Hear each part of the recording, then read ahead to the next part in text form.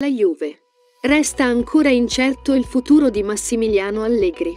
Nonostante la conferma incassata nei giorni scorsi da Maurizio Scanavino, c'è infatti la possibilità che il tecnico possa lasciare la Juventus. Recentemente si è parlato di un'offerta economicamente irrinunciabile recapitata dall'Arabia Saudita. Tuttavia, come riporta calciomercato.com, la destinazione non lo entusiasmerebbe.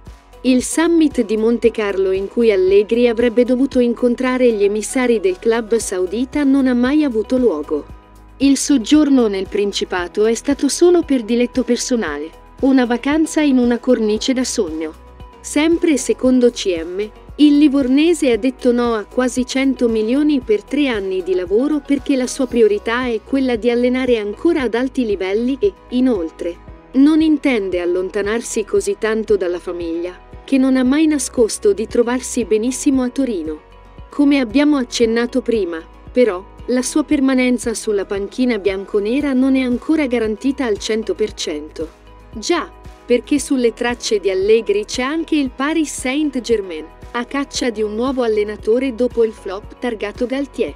I transalpini trattano con Nagelsmann, ma sulla lista degli obiettivi di Luis Campos c'è anche il nome del tecnico della Juve che prenderebbe in seria considerazione un'offerta del PSG.